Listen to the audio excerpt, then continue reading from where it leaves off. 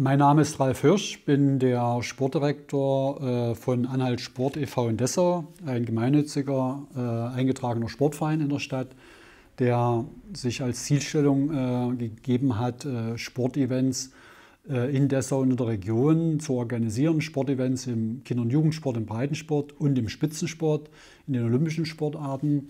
Diese Herausforderung haben wir uns gestellt und die Idee dazu kam, ähm, da ich 25 Jahre lang äh, Sportdirektor in der Stadt Dessau war und die Sportevents dort als Stadt eingeführt habe, das fortzuführen. Und daraus resultierte die Gründung 2014 von Anhalt Sport und wir versuchen jetzt also diesen Weg erfolgreich äh, weiterzuführen. Ja, ich bin heute Gast äh, in Sachsen-Anhalt, Podcast bei Stefan B. Westphal und wir reden über das Thema Sport, Sportevents in, unser, in unserer Stadt äh, Dessau. Der Sachsen-Anhalt-Podcast. Hörgeschichten für Sachsen-Anhalt.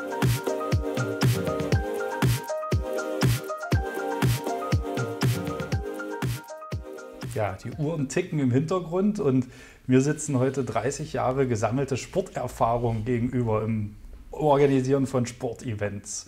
Ralf Hirsch. Ja, ich kann natürlich äh, äh, nur für bestimmte Dinge im, im, Sport in Dessau reden. Das ist ganz klar. Also ich würde mir nie, äh, äh würde nie sagen, dass ich äh, jetzt für den gesamten Dessauer Sport reden kann. Also diese, diese Anmaßung würde ich natürlich nicht äh, treffen.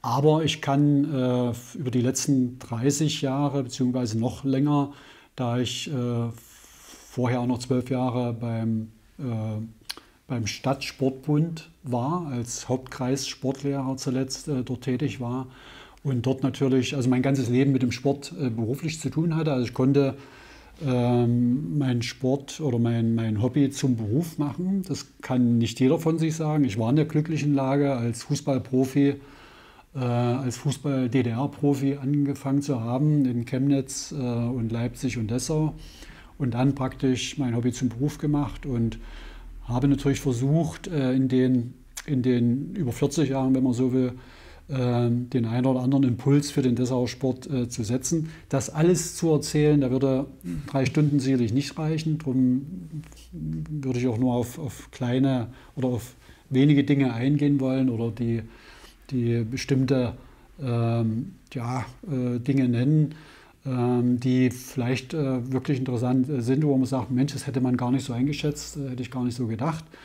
Ähm, ich hatte schon als aktiver Fußballer und Sportler immer so, ähm, oder ist das Gefühl gereift, dann auch selber neben dem Sporttreiben etwas zu organisieren. Und einer meiner größten, oder das war vielleicht der Anfang meiner Sportevent-Laufbahn sozusagen, war die Organisation äh, in der, in der Wendezeit, also 1990, ähm, in dem äh, natürlich von außen alles reinströmte in, in, in Dessau und äh, wir eine Veranstaltung in der Anhalt Arena, wo sich das ergab, eine Veranstaltung äh, zu machen im Fressling. Ich wusste gar nicht, was Fressling ist damals, äh, äh vor, vor 90 habe mich dann schlau gemacht und da kamen da, ich sag mal, dickbäuchige und äh, unsportlich aussehende Menschen aus USA, ähm,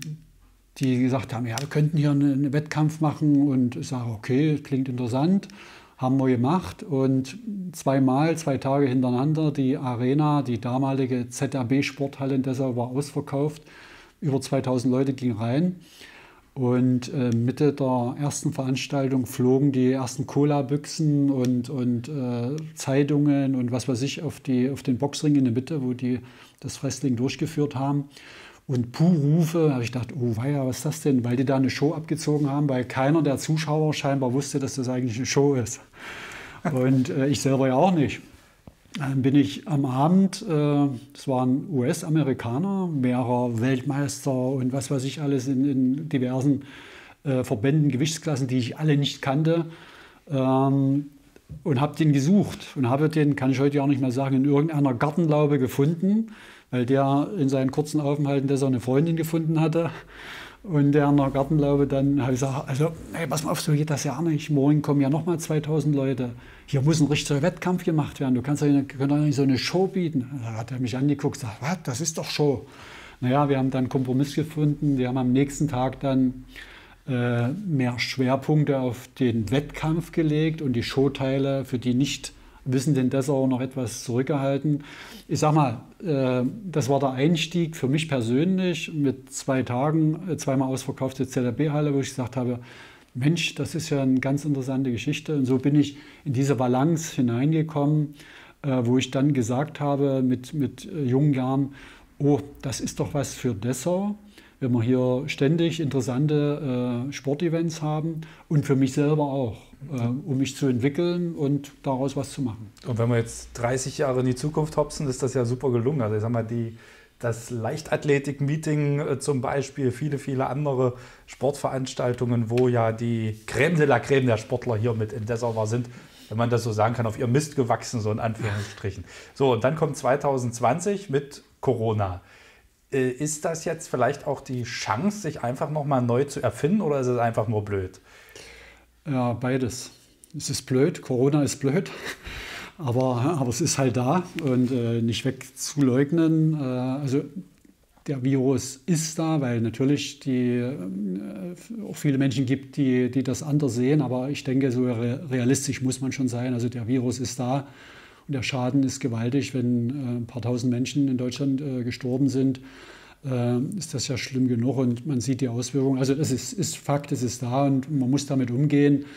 Und äh, es verändert einen natürlich auch und äh, man muss aufpassen, dass man nicht alle Dinge über Bord wirft oder viele Dinge kaputt gehen. Das ist auch ganz klar. Also es ist eine riesige Herausforderung für alle Menschen, egal wie alt, ob das Kindergartenkind oder noch kleiner, Kinderkrippe, ist das eine riesige Herausforderung. Man merkt es vielleicht noch nicht bis hin zum 90-jährigen oder älteren Senioren oder Senioren, die äh, teilweise dann äh, um ihr Leben kämpfen oder gucken, wie komme ich denn in dieser Corona-Welt jetzt zurecht. Also es ist für alle, äh, egal jung, alt, äh, groß, klein und äh, in welcher äh, Situation, Lebenssituation man sich befindet, eine riesige Herausforderung.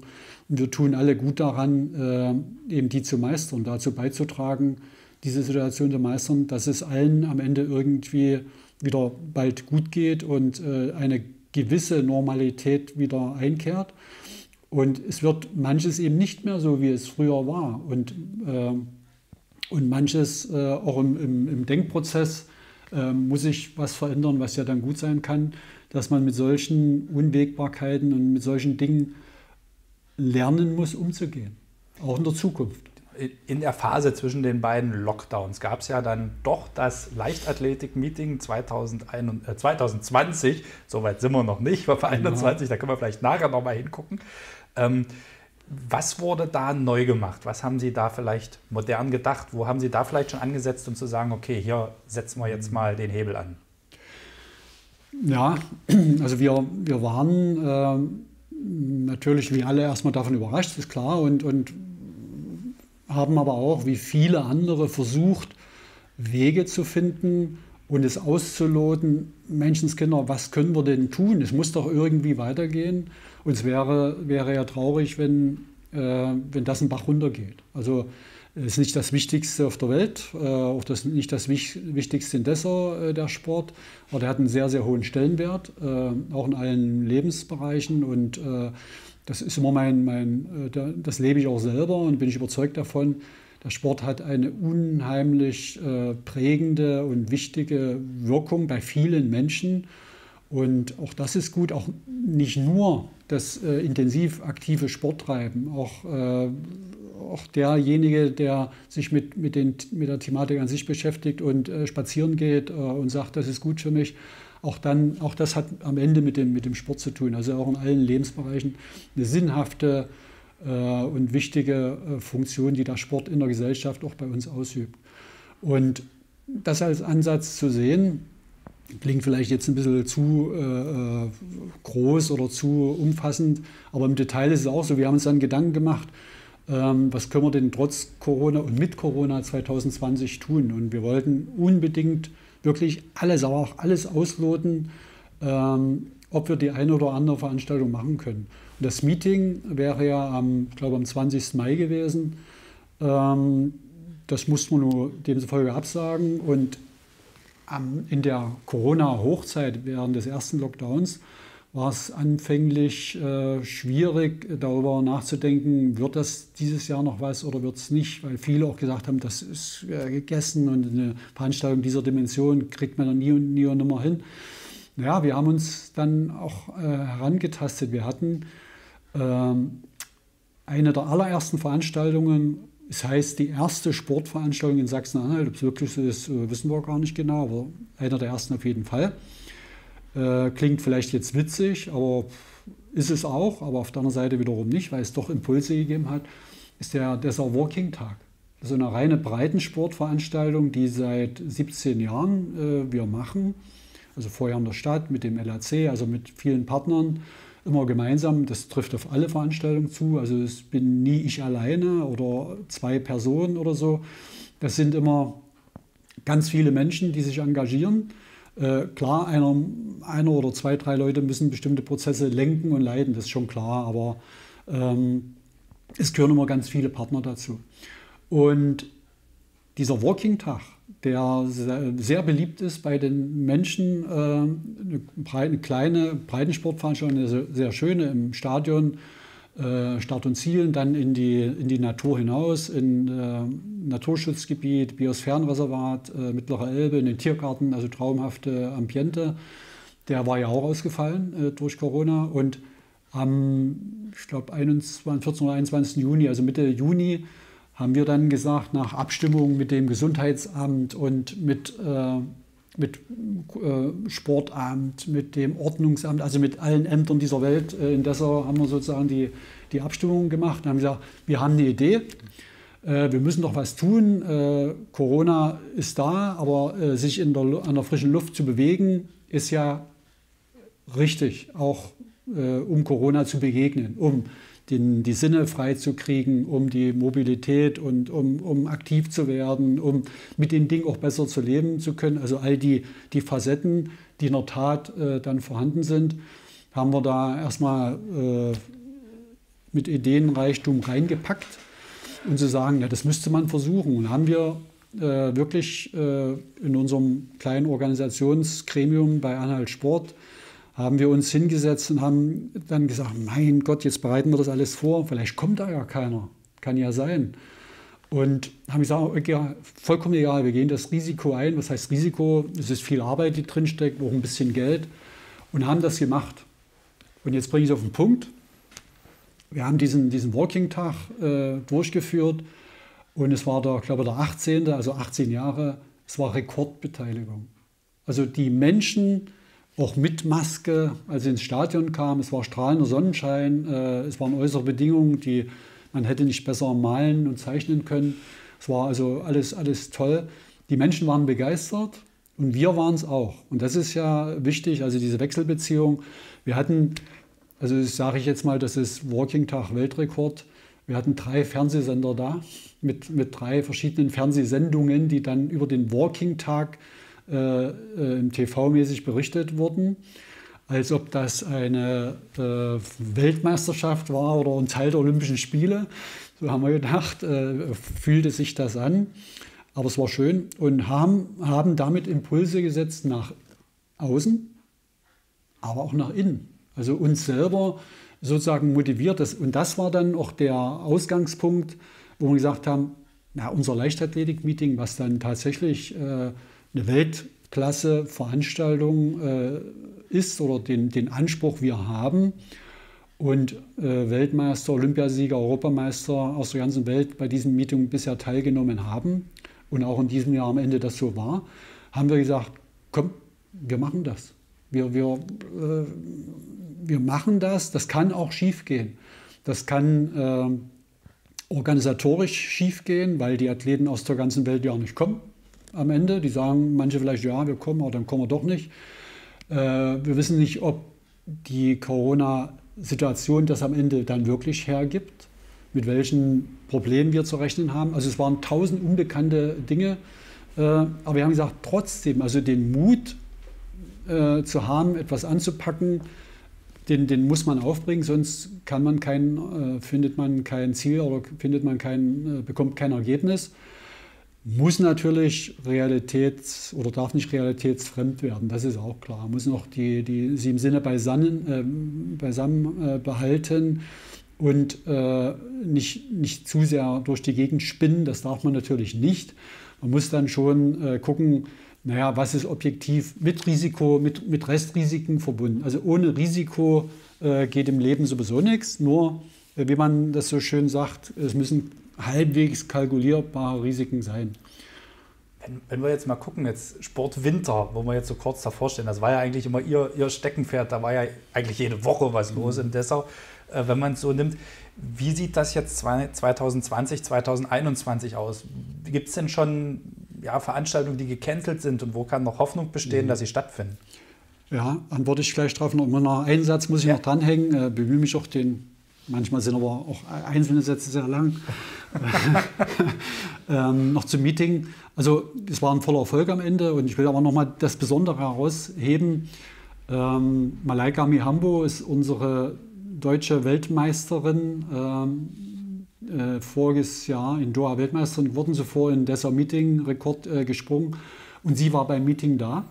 Und sie hat auch in diesem Jahr, äh, es gab Was trotz. Was sie für eine Sportart? Äh, Weitsprung. Weitsprung, Weitsprung okay. äh, ist im vorigen Jahr 7,5 Meter gesprungen, hat von Heike Drechsler den nahezu 20 Jahre alten Stadionrekord im Dessauer Greifzu-Stadion äh, verbessert. Wurde danach in Doha Weltmeisterin und äh, wir konnten sie auch im Corona-Jahr zu dem Meeting äh, am 8.9. in Dessau gewinnen. Und es haben trotzdem auf der Welt äh, einige Leichtathletik-Meetings stattgefunden, also auch ganz, ganz hochwertige, auch das ISTAF in Berlin, wenige Tage nach unserem.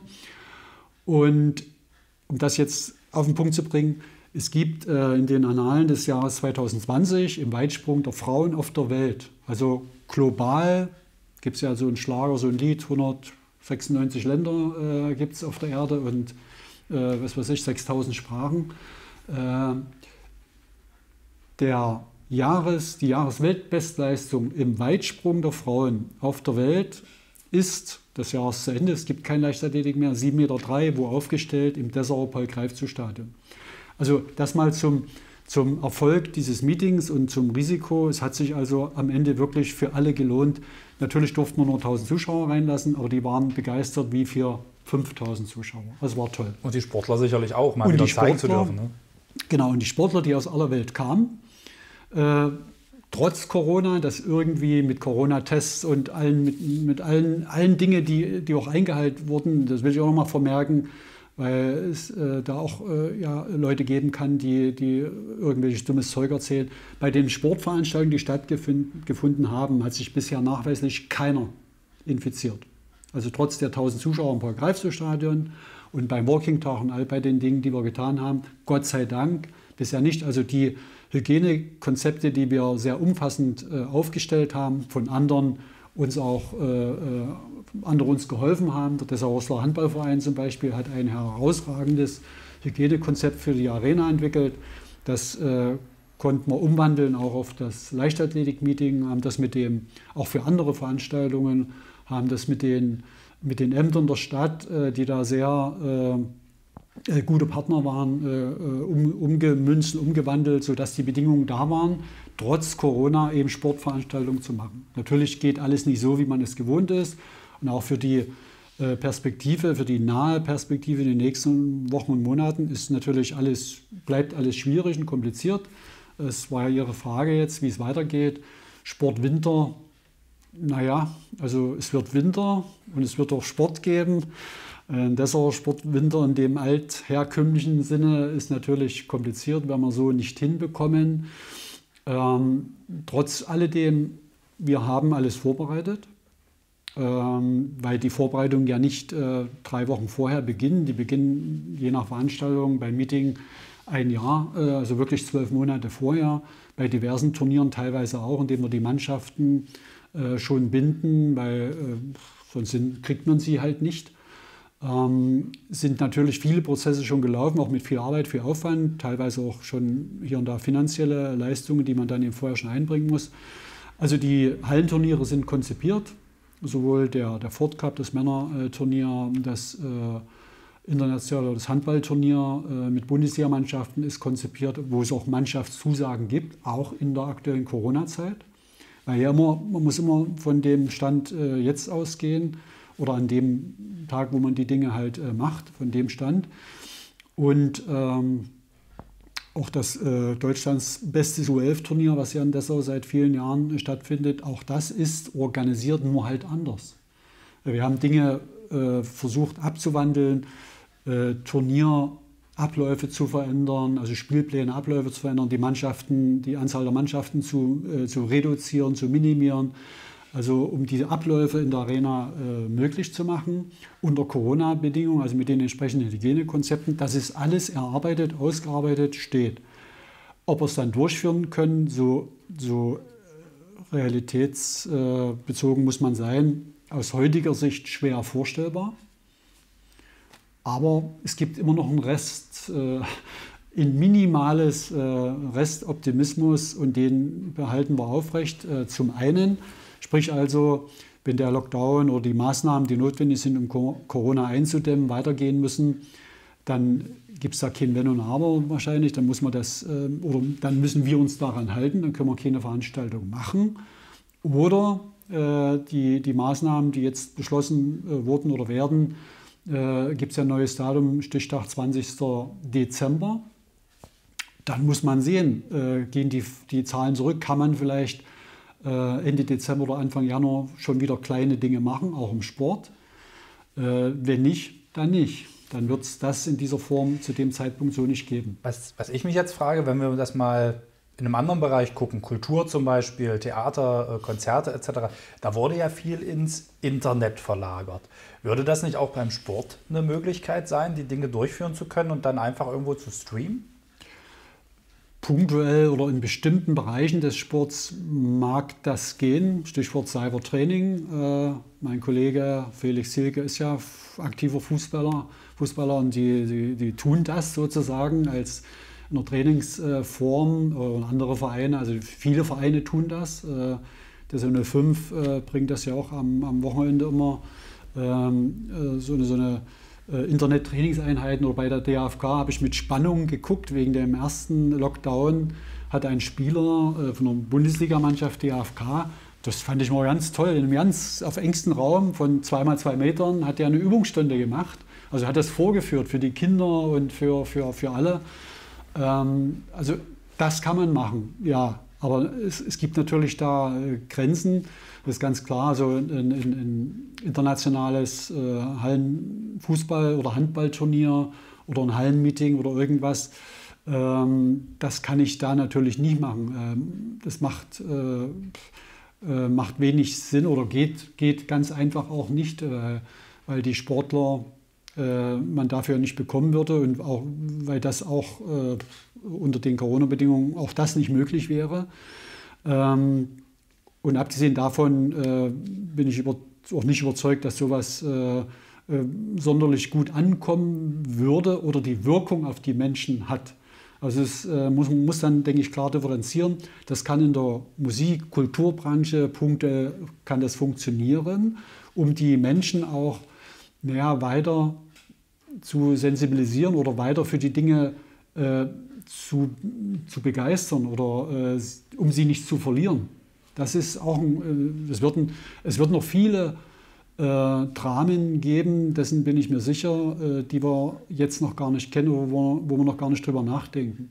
Im Sport weiß man nicht, äh, die, die Sportvereine, es wird vielleicht Tausende, hochgerechnet äh, Zehn oder Hunderttausende Kinder, Jugendliche oder Erwachsene geben, die den Sport erstmal verloren gegangen sind, weil sie gar nicht mehr trainieren konnten, nicht weil sie keine Lust mehr haben oder so, also weil sich die Situation vollkommen verändert hat, die dem Sport erstmal verloren gehen oder Zuschauer in den, in den Bereichen, ob jetzt Bundesliga oder runtergebrochen auf andere Spielklassen. Also es wird viele neue Probleme geben, die man jetzt so noch gar nicht fassen kann.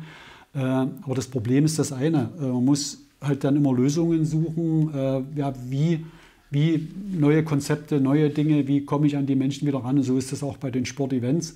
Wir werden den Teufel tun und sagen, naja, nun geht hier das Turnier äh, äh, bricht weg und die Veranstaltung bricht weg. Also wir haben das Gegenteil getan. Ich will da gar nicht klug, klug reden, ich will nur sagen, was wir gemacht haben, äh, um ein konkretes Beispiel zu nennen. Ähm, wir suchen schon länger auch immer wieder nach neuen Ansätzen in der Sport-Event-Kultur in Dessau und Region. Ähm, wir haben viele etablierte Veranstaltungen, wo wir wissen, äh, aufgrund der Resonanz der Menschen, dass diese groß sehr gut ankommen und dass die Menschen das wollen. Also wir machen kein, kein Event, äh, wo keiner hingeht oder wo, wo die Masse sagt, ja, das interessiert uns überhaupt nicht. Das wird man ja nicht tun. Also wir wollen auch Dinge tun, die die Menschen interessieren. Wobei, das habe ich auch gelernt äh, in meiner jahrzehntelangen Tätigkeit, man kann auch Impulse setzen, um Dinge zu entwickeln. Also den Weg umgekehrt machen, aber nicht so oft wie andersrum. Das muss man, muss man natürlich aufpassen. Also ein neues Format äh, zum Beispiel oder Formate sind wir aktuell dran und ein ganz neues Format ist, das haben wir nicht neu erfunden, wir greifen es auf. Ähm, Breakdance ist äh, 2024 in Paris olympisch. Wissen viele noch gar nicht, darum sage ich es hier. Und Breakdance hat auch eine Dessauer Historie. Dessau, was ich als, bin zwar Jahrzehnte in Dessau, bin kein Dessauer, bin Vogtländer. Und äh, habe nicht äh, zu allen Dingen aus der ganz weiten Vergangenheit äh, den, den Zugriff. Äh, Dessau, es gibt ja einen Kinofilm, Dessau Dancers, äh, ich habe mir den nochmal angeschaut jetzt. Ähm, da wird ja so ein bisschen das dargestellt. Also Dessau war der Ursprung für die Breakdance-Entwicklung in der DDR von 85 bis 90, also eine relativ kurze Zeit. Und dann in Dessau wurde es erfunden, wie die Schweizer so manche Dinge erfunden haben. Und die Dessauer den Breakdance für, für Dessau neu erfunden, haben den äh, sozusagen in Umlauf gebracht und dann wie Pilze aus dem Erden, Leib, äh, auf dem Boden in Leipzig, Berlin und überall in allen Großstädten war dann Breakdance aber Dessau war sozusagen ein Stück weit mit Geburtsstunde, davon handelt ja der Kinofilm. Und ähm, das schwirrte immer im Kopf herum. Und wir haben also jetzt am 17. April ist es geplant. Und da denke ich, denken wir, dass Corona soweit ist und wir mit Corona, äh, dass wir diese Veranstaltung in der Arena äh, durchführen können. Die war jetzt schon geplant für den äh, November. Und die war unter der Corona-Kapazität ausverkauft und ist es immer noch. Also das heißt, eine vollkommen neue, äh, neue Geschichte. Äh, dort treten, dort starten also Sportler auf allerhöchstem Niveau, die also Perspektive Olympische Spiele 2024 in, in Paris haben. Äh, das wollen wir da zeigen und das zeigen wir jetzt am 17. April. Also wir sind, das ist eine konkrete erste Veranstaltung, die wir neu präsentieren werden im neuen Jahr und sind schon an zwei weiteren dran, die wir auch neu kreieren äh, und dann vielleicht 21 oder 22 machen werden. Natürlich wird es noch Tiefschläge geben. Wenn die Winterveranstaltungen jetzt im Jahr noch nicht stattfinden können, tut uns das weh, also richtig weh, äh, emotional äh, wie auch faktisch. Ähm, das sind natürlich auch mit, mit vielen Kosten, abgesehen von der vielen, vielen Arbeit, die man dort hineinsteckt. Äh, mit vielen Kosten verbunden. Das muss man auch alles ab, irgendwie abfangen und, und äh, hoffen, dass die Partner äh, zum einen auf der äh, organisatorischen Seite uns erhalten bleiben. Da mache ich mir nicht die, die Sorgen. Wir sind vernetzt mit vielen, vielen Partnern, Institutionen, Organisationen, Sportvereinen, Einzelpersonen in Dessau und der Region. Äh, das ist immer ein Gemeinschaftswerk, diese Veranstaltungen was ja auch allen gut tut. Das ist ja, die Veranstaltungen sind für, für alle da sozusagen.